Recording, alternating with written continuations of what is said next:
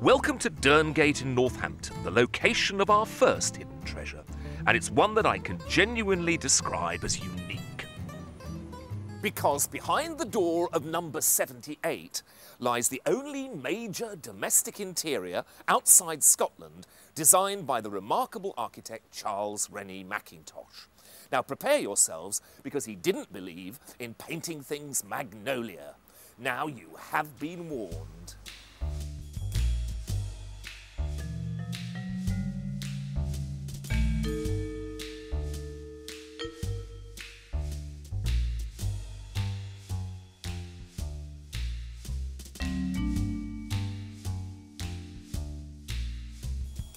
See what I mean? It's absolutely amazing, even by today's standards, and Rennie Mackintosh designed all of this in 1916.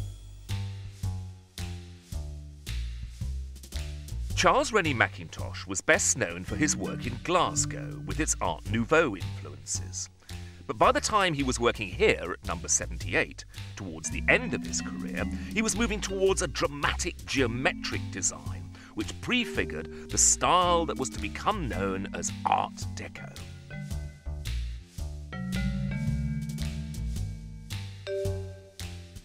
Despite the fact that the house has passed through many hands over the past 100 years, plenty of original features remain, including this amazing fireplace in the so-called Hall Lounge, which has these charming little hidden cupboards.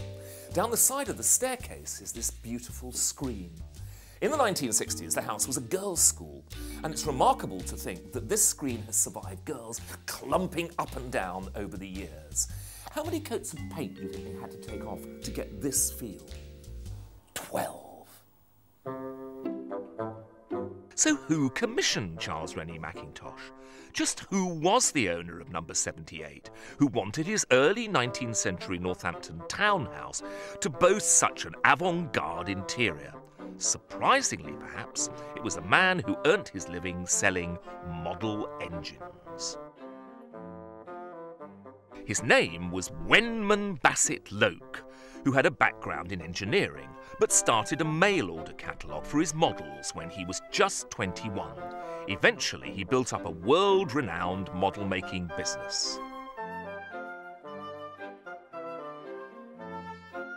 Goodness gracious me, at last, davits, I have it, with blocks and falls, complete, fitted with ball head and guy plates.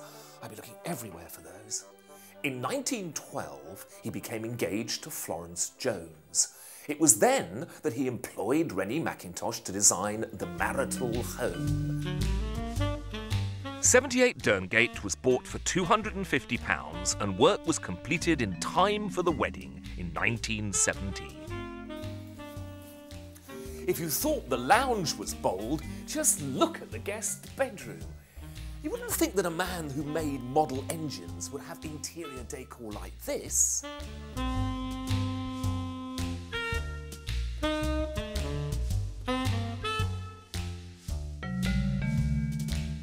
George Bernard Shaw slept here when he visited Northampton to address the Labour Party during a general election. Florence was worried how he'd sleep. The great man replied, just as I always do, with my eyes shut. Just as well.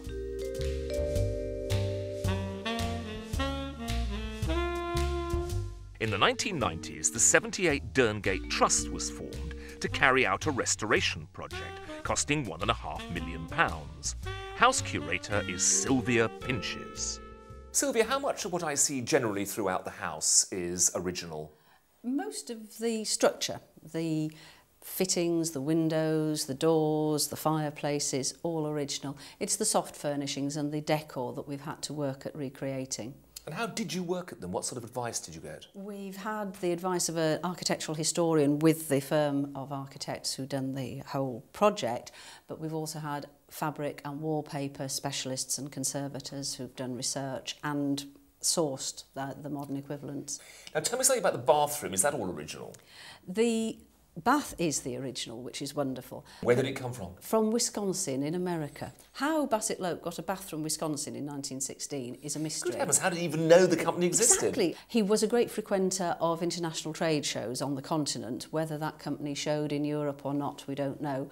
And a local firm were importers of all sorts of sanitary ware. I've gone through their old catalogues, but I can't find that particular one in it. But I suspect it might have been. What about the towel rail? The towel rail, that too is original. Heated towel rail in 1916. I don't have one now. That's wonderful, isn't it? What about the wall covering in the bathroom? The wall covering is based on photographs of the wall covering that was there and contemporary descriptions. It's described as sanitary wallpaper, which means washable wallpaper at that time. How, how very practical. Indeed. And we have had that recreated. Alison McDermott, the uh, wallpaper expert, scanned the photographs, digitally manipulated, produced the stuff. And it was only when we were getting the final bit of paint off the nickel-plated towel rail that one square centimetre of the original paper came really? fluttering out and it was right.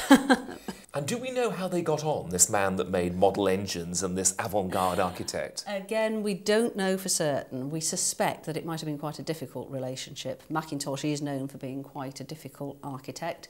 Bassett Loke was... Most a, architects are difficult. I'd noticed in my experience. but the way that Bassett Loke was very engaged with this project. There are five letters which survive from Bassett Loke to Macintosh very much into the detail. In this room, for example, the drawings for this surround behind us, a couple of versions of it from Macintosh, heavily annotated by Bassett Lowe. What I want is pivoting coal scuttles and all the rest of it. So he was a very hands-on sort of Well, he was client. an engineer after he all, was an engineer. It really is extraordinary that some of the finest work by Charles Rennie Mackintosh, normally closely associated with Glasgow, is here in the middle of Northampton. And it's a real tribute to its original owner, Wenman Bassett Lowke. He and Mackintosh together created one of the most exciting domestic interiors in the country. And now, thanks to the 78 Derngate Trust, who has thrown the doors open to the public, we can all now have a unique insight into one of Rennie Mackintosh's last commissions.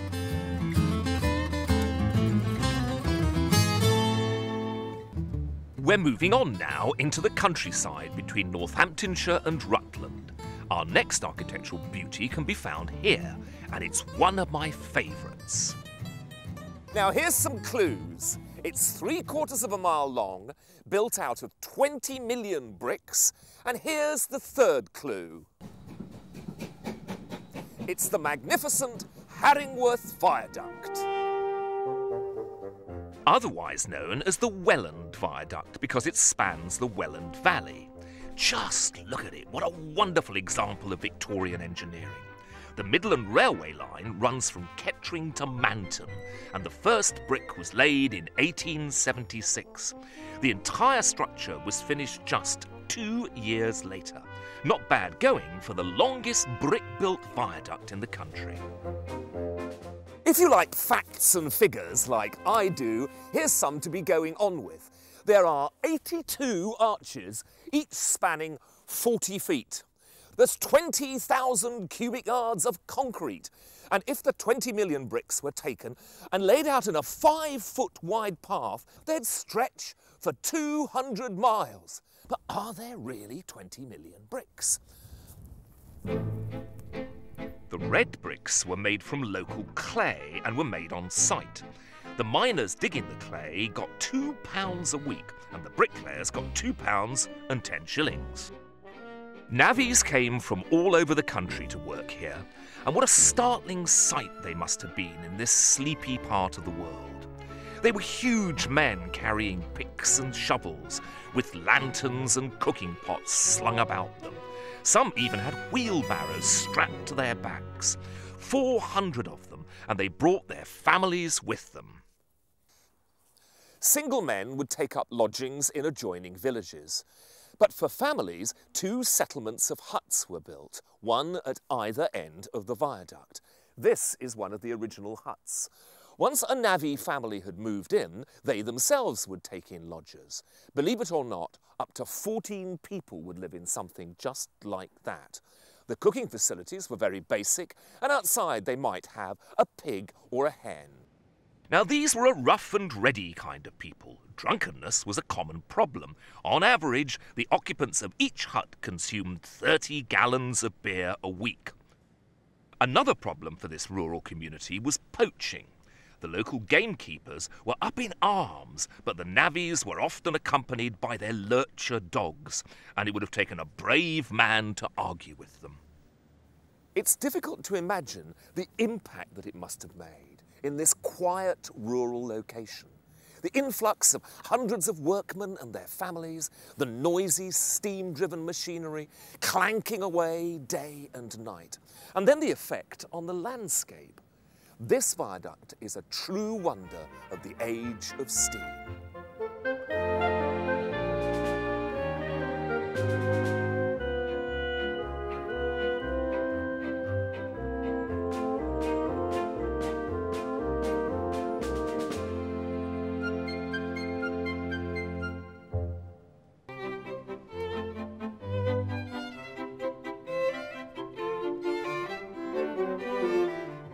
Now, if you were looking for a location in which to film a major costume drama set in the 1830s, you couldn't do much better than come to Stamford.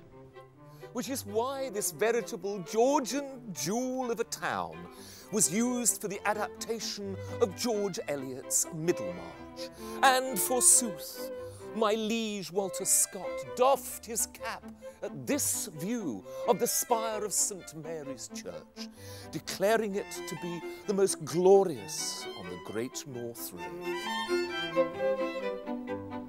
What is remarkable about Stamford is that many of its buildings are so uniformly of one period. In many of its streets and squares, there isn't a single modern building to be seen. And when you remember how modern developments have been allowed to blight so many of our towns and cities, that seems to me to be quite some achievement. Stamford may not have many buildings that are later than Georgian, but it has some beautiful ones that are earlier. Because the town was one of the finest medieval towns in England, thanks mainly to the wool industry. And it's one of those beautiful buildings that we've come to see today one of the finest examples of a medieval almshouse in England.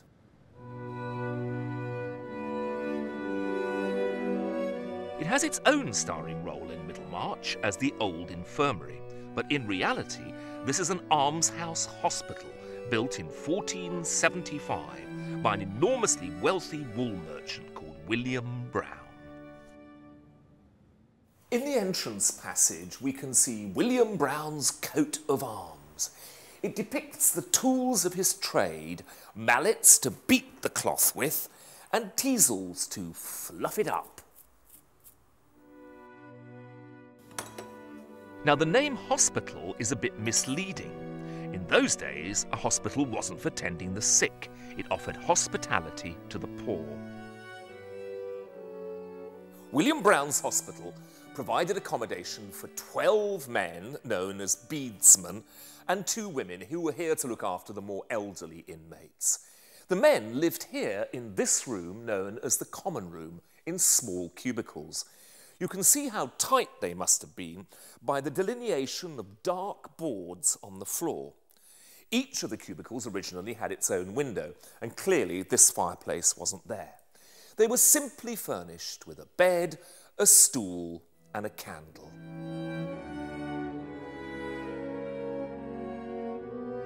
William Brown often travelled to France on business, and he may have based his hospital on the Hospice at Beaune in Burgundy, which was founded 40 years earlier. In return for being given a home, residents were required to attend services here twice a day to pray for the souls of their benefactors. The chapel can be seen from the common room so that men who were too sick to leave their beds could still take part. The altar, which is made of Barnack ragstone, has not lain here undisturbed since the 15th century. In 1925, it was found embedded in the floor where it had probably been put during times of religious persecution. Some observant soul noticed the five marks of consecration which identified it as an altar stone. The windows in the chapel are some of the finest examples in the country of medieval stained glass. It's just incredible to think that they've survived virtually intact for over 500 years. Directly above the common room is the audit room where all the business of the hospital was carried out around the great oak table. From the 19th century to the 1950s, the residents wore this uniform, and they were happy to do so. Remember, this was a place for the very poor, not those with a wardrobe full of clothes. If, however, a beadsman went out in Stamford not wearing the uniform, they would be reported to the warden and confrater who ran the hospital and would be suitably disciplined. This was the sitting room provided for the confrater, the warden's assistant. He would sit here writing up the daily log of events, including details of such misdemeanours. In 1870, it was decided that the small cubicles in the common room were no longer appropriate, and these charming Victorian cottages were built for the residents. The Windsor chairs, which are currently on display in the audit room, were provided for the cottages so that the new residents would have at least one stick of furniture when they moved in. The cottages were converted into flats in the 1960s, and all are currently occupied, a tribute to the vision of William Brown, who began it all back in the 15th century. So next time you visit Stamford, remember that amongst the architectural treasures of the Georgian period, there's a medieval gem that's well worth a look. By my very breeches, I understand there's another film crew in town. They must be looking for another star. I must be on my way.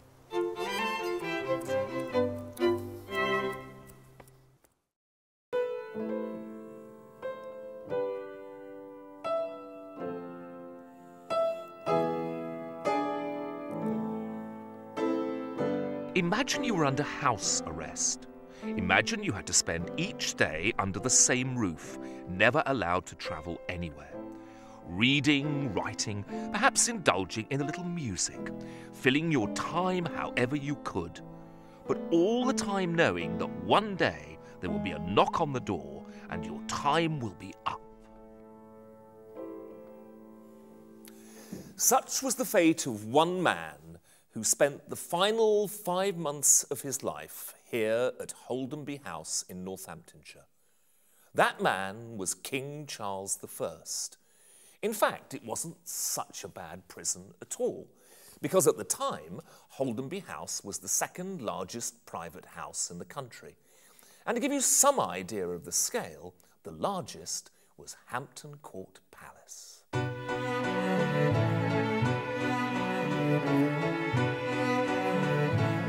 Holdenby House today is just a fraction of the size of the original palace that stood here.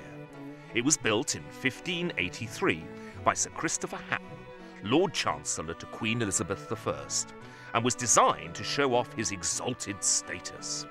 It would have been a stunning building with two courtyards, 123 huge glass windows, and the most beautiful gardens. But Sir Christopher died just nine years after completing Holdenby and the property passed to the Crown. The most poignant period in Holdenby's history was a few years later in 1647.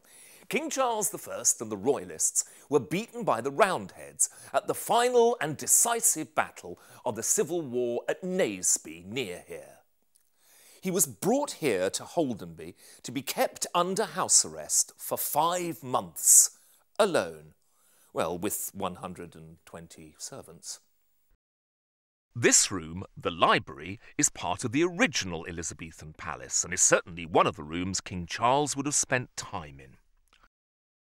In June 1647, after five months of house arrest here at Holdenby, Cromwell's men sent one Cornet Joyce to take the king into custody. Charles, who despite his predicament still enjoyed wearing natty headgear, refused to leave, demanding that Joyce show him a legal document sanctioning such an act. In reply, Joyce simply gestured for the deposed king to look outside. 500 armed soldiers stood in the courtyard. It was a pretty persuasive argument.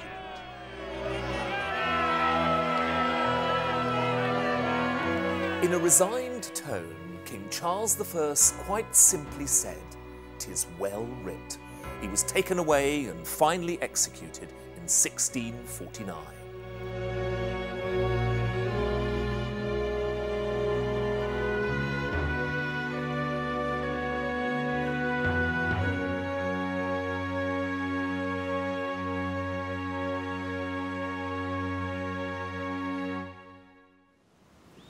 The glittering splendour of the palace only lasted a hundred years. In 1650, it was sold to a parliamentarian who practically demolished it, selling the stone off to build other houses in the area.